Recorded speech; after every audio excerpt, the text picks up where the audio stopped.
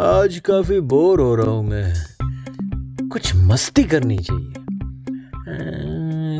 क्या करें? आइडिया! क्यों ना आज सबसे मज़े लिए जाए। मोंटी उठता है और भागने लगता है।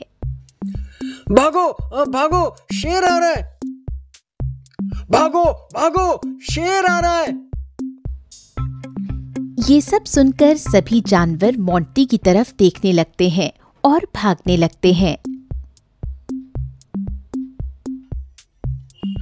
बिल्ली मौसी भागो तुम भी। शेर आ रहा है।